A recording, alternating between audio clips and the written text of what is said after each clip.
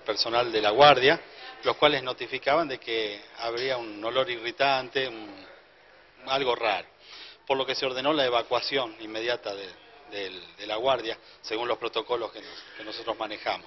Se ordenó la evacuación, eh, sacaron a todos los pacientes a un pasillo interior de la guardia para mantenerlos a resguardo hasta tanto eh, arribara personal de 911 para trabajar el tema. ¿Cuánto tiempo duró este operativo? ¿Qué, qué pudieron encontrar? El operativo duró aproximadamente 50 minutos, eh, se procedió al- a la limpieza y descontaminación de la guardia en su totalidad. ¿Qué era lo que se sentía concretamente? Se percibía un olor irritante, eh, medio eh, que- que- similar al del gas pimienta. ¿Creen que puede haber sido eso concretamente? ¿Lograron encontrar el, el elemento que se habría usado? Bueno, si bien no tenemos pruebas de eso, porque no hemos co- encontrado ninguna prueba que nos diga que ha sido gas pimienta, creemos que sí, que ha sido gas pimienta por, por la característica del, del gas que se percibía.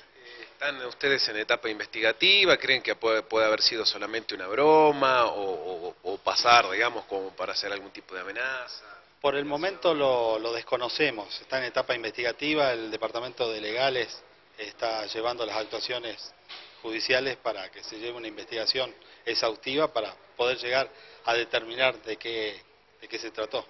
Eh, ¿Solamente es eh, gente del hospital la que está investigando o también participa de la policía de la investigación? No, no, no, la investigación la hace el Poder Judicial.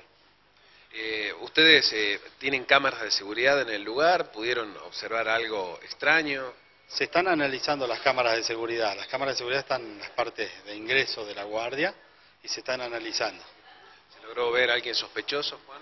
Por el momento no podríamos aventurar nada ni hablar nada al respecto, pues está en etapa investigativa. ¿Hubieron, las personas que estaban en la guardia eh, se llegaron a descomponer por este olor o, o solamente, bueno, sin percibieron este mal? No, no, no, gracias a Dios, eh, no, no, no, fueron tres personas las que percibieron un olor irritante, pero no, no fueron afectadas gravemente, ni no.